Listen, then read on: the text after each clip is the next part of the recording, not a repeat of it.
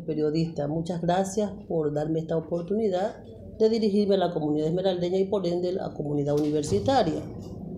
Sí, el Centro de Apoyo Académico de Inglés forma parte de una red nacional, donde tiene convenio la Universidad Técnica Luis Vargas Torres, que se hizo aquí en los salón del Salón Azul.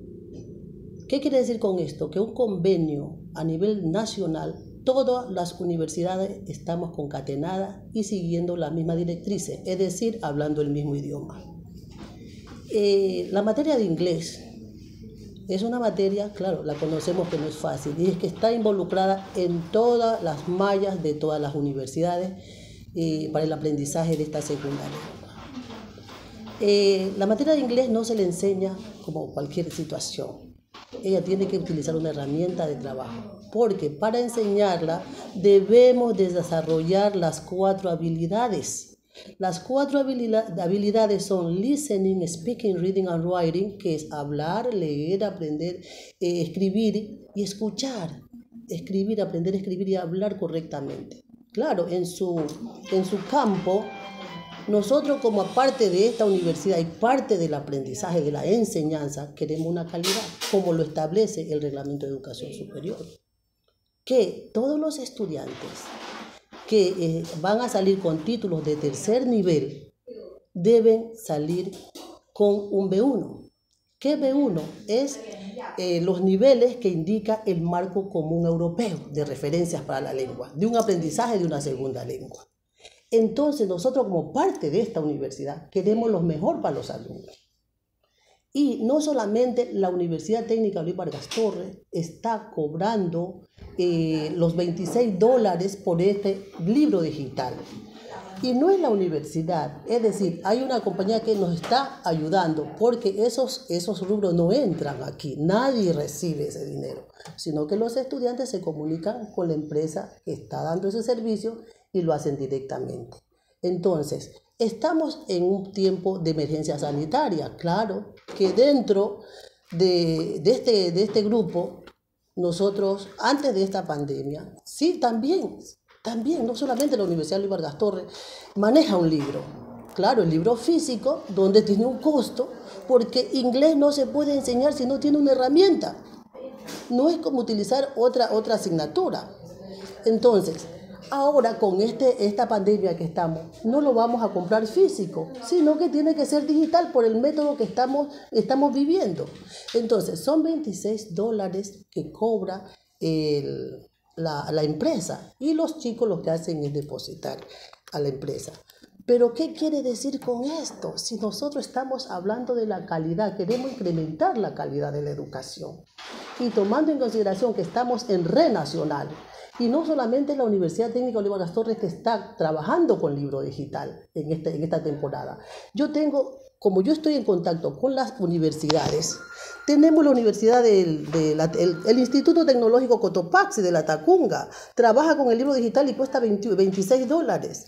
La Universidad Central de Quito, que trabaja con la compañía Pearson, 30 dólares el libro digital. Tenemos la SPO, Paul, que trabaja con también libro digital, 35 dólares. ¿Y qué la Universidad Técnica Luis Vargas Torres, nuestros estudiantes, no podemos hacer un esfuerzo para mejorar la calidad del aprendizaje? El reglamento de educación superior, en su artículo 30, establece que los estudiantes de todos van a obtener el título de tercer nivel deben ser evaluados. Al llegar el 60% de tener aceptada su, aprobada sus materias de la carrera. ¿Qué quiere decir con esto? Que el 60% están en, en sexto nivel y deben rendir una evaluación. Si esa evaluación no es aprobada, no pueden continuar con sus estudios. Entonces, deben, eh, eh, eh, tenemos, tenemos que prepararlos para que puedan ser evaluados y puedan aprobar y continuar con sus estudios. Entonces, ¿qué es lo que queremos nosotros? Que haya ese aprendizaje. Pero bueno, si el porcentaje de estudiantes, la persona que anda indicando que no están de acuerdo, ¿qué es lo que se hace primero si se quiere el beneficio de nuestros compañeros estudiantes? Primero el diálogo con la autoridad, venir y conversar y decir, bueno, de qué manera presentar el problema y la solución y qué estrategia podemos eh, eh, emprender para que nuestros compañeros puedan este, obtener el libro digital, pero ella desconoce lo que estamos haciendo aquí en el centro. Aquí en el centro, utilizando el libro digital, nosotros estamos dando ayuda. 25 códigos del libro digital lo regalamos a los estudiantes que vienen y dicen que por alguna situación o una situación económica comprobada no lo pueden hacer. Esto es prueba de los códigos que yo estoy dando. Aquí están los códigos que nos mandan. Son 10, me mandan de 10 en 10 la empresa. Y yo qué le hago? Les pido a los chicos la copia de la cédula y el número le voy eh, indicando y su mensaje donde indique cuál es la razón por qué no pueden obtener el material. A los estudiantes que viven en casa, dos hermanos, se le da el uno y el otro se le regala. A los estudiantes que también no pueden comprarlo, se le da la oportunidad que lo paguen prorrateado, dos o tres meses para que puedan adquirirlo.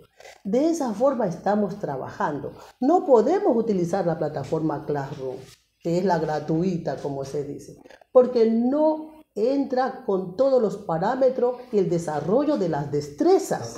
Entonces, si nosotros queremos ayudar a nuestra universidad, queremos ayudar que nuestra universidad tenga eh, una puntuación alta y que nuestros estudiantes donde se presenten puedan por lo menos dar un diálogo sencillo, debemos corroborar y ayudar a la universidad, no debemos hundir a nuestra universidad, porque estamos viviendo de ella y lo que queremos tratar de mejorarla. Pero si yo quiero el bien para la universidad, buscamos estrategia, buscamos soluciones, planteamos soluciones para llegar a un acuerdo, pero no así. Ellos también, eh, bueno, siempre ellos manifestaron de que se pagaba una cuenta a la plataforma, pero que estos rubros deberían de correr por cuenta de las universidades, porque lo entendí, porque la educación es gratuita. La educación es gratuita, pero el gobierno paga a los docentes pero no le paga los materiales a los estudiantes, porque los estudiantes tienen que comprar su material y no tanto su totalidad gratuita, porque en la tercera matrícula, en una segunda matrícula, ya le sale en el sistema algún porcentaje de pago. Entonces, el material lo adquiere el estudiante, el, gobierno no le regala. Mire, en las escuelas yo tengo nietos y pagan 65 la plataforma digital para poder aprender. Que hablamos de nuestra universidad, estamos hablando de 26 dólares, que podemos tratar de hacerlo. Pero si el estudiante no lo quiere y si se acerca a conversar con la autoridad, con la encargada de este centro o con el señor rector, vamos a dialogar y a decir, pues bueno, sea opcional, está bien, pero tomen en consideración que si hay una tutoría, se les puede dar una tutoría, se les puede dar el sílabo para que se preparen y luego vengan a rendir los que no quieren eh, pagar el, libro digital. Pero más adelante no vayan a decir que no lo aprobaron, que no aprobaron porque no cumplen con todas las actividades que son de interactuar, que son de desarrollar las destrezas que, que implica, que cubre en la enseñanza del idioma inglés. El idioma inglés, como otros idiomas, no es fácil, pero no podemos enseñarlo con cualquier papel, con cualquier hoja o por WhatsApp. No, tenemos que interactuar y esa plataforma cubre el desarrollo de las actividades, cubre el desarrollo de las actividades. Y yo considero, por eso les digo, que si alguien no lo puede adquirir, no se le va a obligar, pero que él tendrá que correr por su responsabilidad cómo va a, responder a las evaluaciones y cómo pasar de nivel, pues. De eso no, tenemos, no podemos ponerle camisa de fuerza al estudiante, ni se puede decir que los, que los profesores están diciendo que se desmatriculen. Falsa verdad, no es así. Jamás un compañero puede decirle, si no tienes el libro, desmatricúlate. Por Dios debemos salir a la prensa diciendo la verdad. Tiene que hacer el esfuerzo. Claro, y hay que hacer un esfuerzo porque estamos estudiando. Es una inversión. No está regalando ni está dejando nada. A nadie le está regalando. Está invirtiendo porque eso va a ser más adelante a futuro recompensado con su profesión que va a tener. Entonces, de esa, es la parte en la cual nosotros estamos trabajando. Aquí se les ayuda a todos los estudiantes que vengan y conversen con la coordinadora que está encargada de este centro, yo le doy solución.